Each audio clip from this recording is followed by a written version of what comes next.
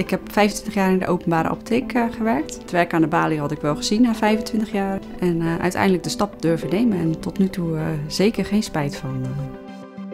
Uh, front office eigenlijk zeg maar ja, een beetje achter de schermen. Dus je loopt gewoon op de afdelingen tussen de patiënten, de verpleging, de artsen.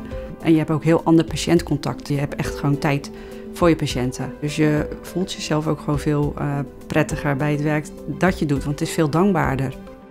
Er liggen hier toch wel wat uh, complexere patiënten met wat uh, ja, uitgebreidere ziektebeelden. Dus ook wel bijzondere medicijnen die je hier tegenkomt, waar ik zeg maar bij de openbare apotheek nog nooit van had gehoord. Dus dat maakt het ook wel heel erg interessant.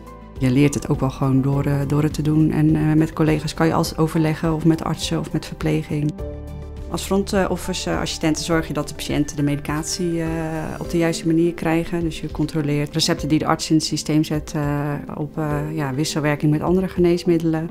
je gaat de patiënten die opgenomen zijn spreken aan bed. De medicatie bijhouden, de voorraden bestellen. Op de dagbehandeling maken wij ook de spuitjes voor de verpleging alvast klaar. Soms kleine bereidingen in infuusjes. Mevrouw van de Steenhoven.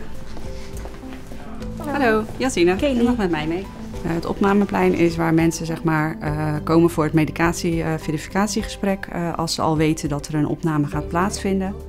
mijn rol is daar om de patiënt naar binnen te roepen in een kantoortje waar je dan één op één een gesprek hebt met de patiënt en dan de medicatie even stap voor stap doorneemt. Ook nog allergieën voor nee. plaats voor de medicatie? Ja, hele leuke collega's hebben we hier. ja, op de kliniek werken is heel erg leuk. Ik bedoel, je bent de hele dag in beweging, je zit de hele dag ergens anders. dus dat maakt het heel interessant. Het is nooit saai.